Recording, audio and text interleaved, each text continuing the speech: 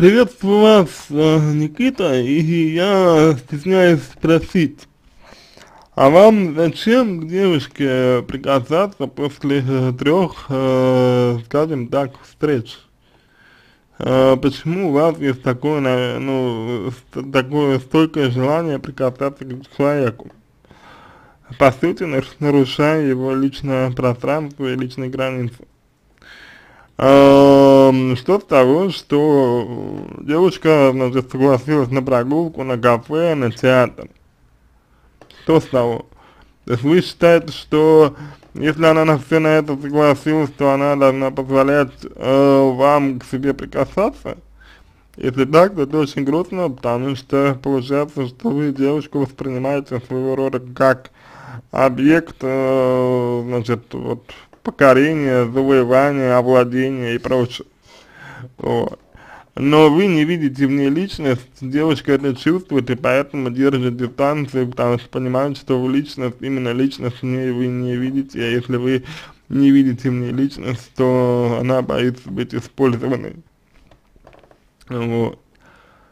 А вообще есть, есть у меня такое ощущение, Никита, что девушка для вас это, ну, такой просто объект, да, и ни в коем случае не партнер, с которым вам интересно проводить время, а, с которым вам интересно общаться, взаимодействовать, которого вы хотели бы узнавать.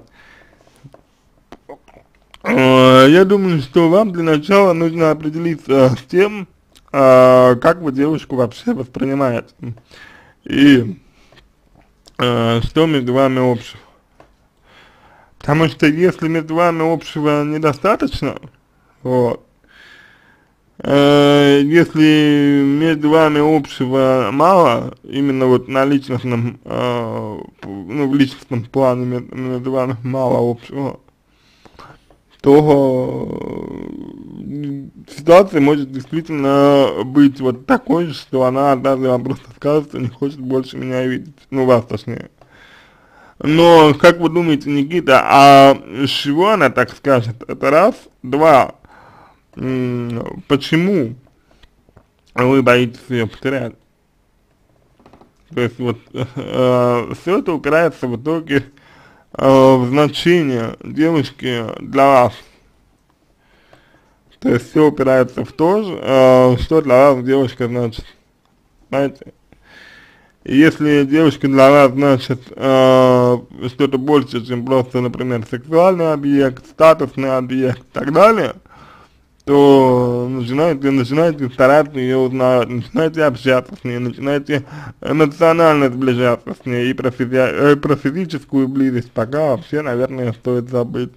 Три раза это очень мало, на третью встречу никак человеку при прочих равных условиях э, прикасаться к себе непозволительно. А, другой вопрос, чем обусловлены, чем обусловлены ваши ожидания, ваши ожидания того, что она вам это позволит. Вот, я думаю, что на этот вопрос вам, м, ну, тоже очень, э, очень желательно ответить, потому что м,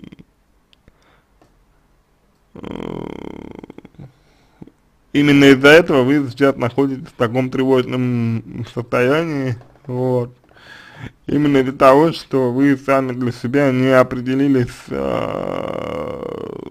в том, каких отношений вы хотите с девушкой, я имею, я имею в виду. То есть, понимаете, нет ничего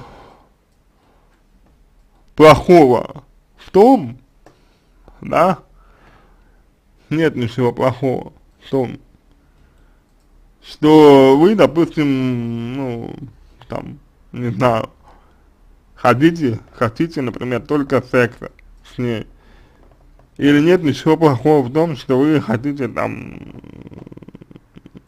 статус какой-то, нет ничего плохого в том, что вам, ну, что вам чего-то еще хочется, понимаете, нет в этом ничего плохого. Вопрос в другом немного. Вы сами для себя определите, с чего вы хотите. И, и партнера подбираете уже под это. Знаете? Для чисто сексуальных отношений нужен один партнер, для э, статусных отношений нужен другой, нужен э, другой партнер, для э, личностных, личностных отношений нужен третий партнер. Все это проистекает из того, что вы чувствуете к, к девушке, что вы ощущаете к, к девушке, понимаете? Любите ли вы ее, например, нравится она вам, если нравится, то как, как а, это проявляется, как вы сами это проявляете по отношению к ней. Вот на что вам нужно обратить внимание. То есть определите с тем, что для вас девушка значит, что вы хотите по отношению к ней. Определите, что вы чувствуете где, где, к девушке. И определите, что у вас общего. Вот чем больше у вас общего, тем больше у вас шанс, шансов. И определите с тем, для чего вам к ней прикасаться. Вот, я полагаю, что после, э, так сказать, формирования э, позиции вы сможете уже для себя решить, что делать дальше. Но э, три встречи э, очень мало для того, чтобы человек разрешил вам к себе прикасаться. Очень мало.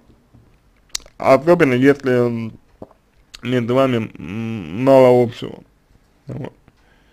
А театр, кафе и прогулка это не значит ничего, даже если вы тратили на это свои деньги.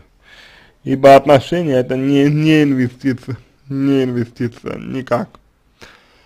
На этом все, я надеюсь, что помог вам, если вам понравился мой ответ, буду благодарен за его оценку в качестве лучшего, я желаю вам всего самого доброго и удачи.